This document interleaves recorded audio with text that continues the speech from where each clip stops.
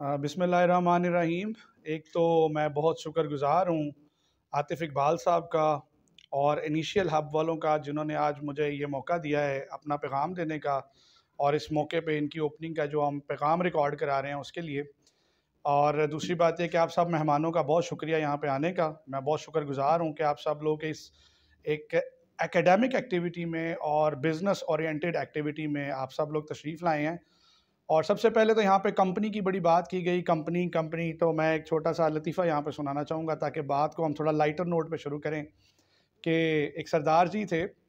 تو ان کے بارے میں کہا جاتا تھا کہ سردار جی جو ہے وہ کسی بھی برانڈ کا مشروب مغرب یا جو الکوہل ہوتی ہے وہ اسے صرف سونگ کے بتا دیتے ہیں کہ جب اسے سونگتے ہیں تو اور اسے چک کے بتا دیتے ہیں کہ وہ کس ٹائپ کا ہے یا کس کمپنی کا ہے۔ تو ایک دن ان کے جو بہت زیادہ تھے۔ دوست انہوں نے یہ فیصلہ کیا کہ ہم ان کو نا مختلف برانڈز کے یہ جو مشروب مغرب ہیں، انہیں انہیں مکس کر کے تو ہم سردار جی کو چیک کراتے ہیں کہ یہ کس کمپنی کا ہے۔ تو انہوں نے پانچ، دس، پندرہ مختلف قسم کے برانڈ مکس کر کے کمپنی کے مشروب مغرب مکس کر کے تو سردار جی کو دے دیے۔ اب سردار جی جو ہے وہ سونگ رہے ہیں کبھی اور کبھی دیکھ رہے ہیں، کبھی چکھ رہے ہیں، کبھی سونگ رہے ہیں۔ تو سردار جی سے نا یہ ڈیسائیڈ نہیں ہو سکا یہ کون سی کمپنی کا برانڈ ہے۔ تو فائنلی انہوں نے کہا کہ جو ہے نا دوستوں کو کہنے لگے کہ، یار، اے تو میں نہیں دس سکتا کہ اے کس کمپنی دا ہے، لیکن اے دس دیو، مالکانوں کہ کمپنی نہیں چلے گی۔ تو آپ کی بات یہاں سے شروع کرتا ہوں کہ انیشیل ہب عاطف نے بنایا ہے that is about about internet and e commerce it's a eBay Amazon یہ تمام وہ ٹولز ہیں جو ہمارے اسٹوڈنٹس یوز کرتے ہیں آن لائن سیلنگ کے لیے۔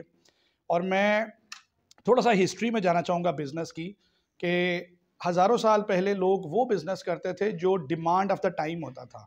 کچھ لوگ ہیروں کی تجارت کرتے تھے، کچھ لوگ سونے کی تجارت کرتے تھے۔ کیونکہ اس وقت یہ سوچا جاتا تھا کہ جس کے پاس سونا ہے یا ہیرا ہے، وہ سب سے امیر آدمی ہے، بادشاہوں کے پاس ہوتا تھا۔ تو ان کو بیچنے کے لیے لوگ وہ ساری چیزیں یوز کرتے تھے۔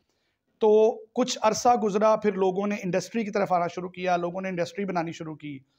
آپ یہ دیکھیں کہ ٹونٹی سن دو ہزار میں پاکستان میں ایک آئی ٹی کا بوم آیا جب عطاء الرحمان صاحب minister of information and technology بنے۔ اسی دور میں انڈیا نے سلیکان ویلی حیدرآباد میں بنائی اور ان کی کمپیوٹر ایکسپورٹ شروع ہو گئی سافٹ ویئر ایکسپورٹ شروع ہو گئی۔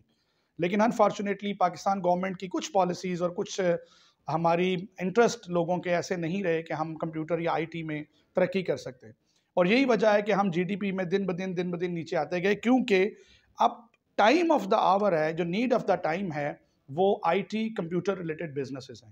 تو میری درخواست ہے اپنے وزیر آباد کے تمام لوگوں سے جو کٹلری میں بھی کام کر رہے ہیں، جو ہینڈی کرافٹ میں کام کر رہے ہیں، کہ اپنے بزنس کی پروموشنز کے لیے، اپنے بزنس کی بہتر پبلسٹی کے لیے please contact initial hub please contact this this institute it will teach you and it will grow your business ان شاء اللہ آنے والا وقت آئی ٹی کا ہے آنے والا وقت انفارمیشن ٹیکنالوجی کا ہے best of luck initial hub best of luck Atif Iqbal thank you very much for calling me as a guest thank you very much